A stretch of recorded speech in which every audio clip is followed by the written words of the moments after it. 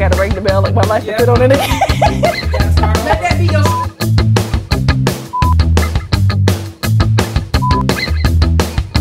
Hey y'all, it's Lae The Influencer. Welcome to Strictly Business created by Set Bar.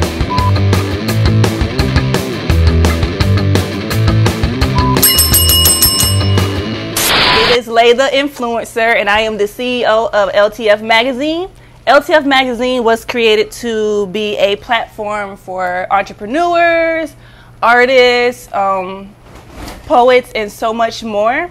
We are a platform that helps bring out the inner creativity for everyone and also help them showcase their creativity. What made me want to start the magazine is that I realized that I am a woman of multiple talents. And I realized that sometimes a lot of people don't have that platform that helps showcase who they are and what they bring to the table. And LTF Magazine was able to give people that platform to basically shine. Some challenges I face as a business owner is simply communication. I mean, we have individuals who want to be a part of LTF Magazine, but you know, sometimes the communication is off on their end because they're not meeting deadlines. So LTF Magazine will reach its one year mark in November. Yay, the one year. Ring the bell for that.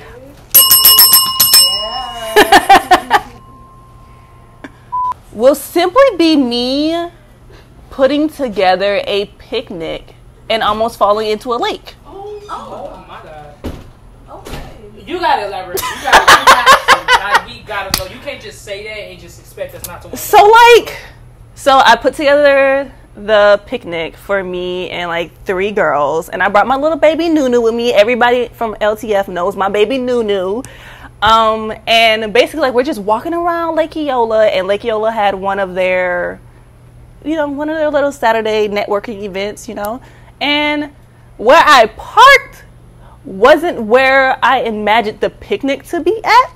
So as we were walking around the lake, I'm holding her and she decides to knock my phone out my hand. So my phone is almost about to slip into the lake.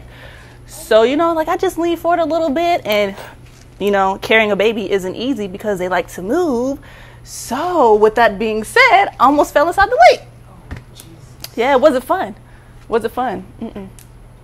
My biggest pet peeve Oh my gosh. Showing interest and then when I get ready to communicate with you, it's like communication isn't there anymore. You're no longer interested, X, Y, and Z. So, you know, that's my biggest pet peeve. But it's time for payment. that's time payment. Payment. Who's ready? Now you pay. that's real. How do I get through feeling discouraged? Being a psych major, is not easy. Um, working with kids is not easy. But you know what is easy? Getting motivation from Sinful Blue. Because she be posting stuff on her story and I just be like, girl, you really just made me want to work harder. I be trying not to make these interviews about me and yeah. y'all be coming out here, y'all be giving my flowers. I really be appreciating that, man. Listen, we gotta give you your flowers when it's due because honestly, if it wasn't for you posting half of the things that you do on your story, LTF magazine probably would have continued being on hold. And we gotta we gotta help each other, man. We all all about building community and lifting each other, man. If anybody else got us, the underground community, we got us. That part. Some, I would have to say, the Desiree Foundation um, it's ran by Jennifer. She does Fusion & Co. I would also have to say everybody who's been a part of LTF. Yeah, because without y'all, it wouldn't be no LTF. So, you know, props to y'all. I love y'all. And simply my little sister. Because that's my twin in them. Chase your dreams. Don't let nobody stop you from being who you want to be, who you want to become. Because at the end of the day, who you are right now, you're not going to be that same person in the next 5, 10, 15, so forth years.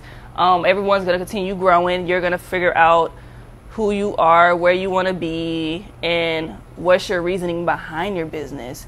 Be different. Don't aim to be the same as everyone else. Like, you being different is how you express to the world that you were meant to be here. You are going to make a difference.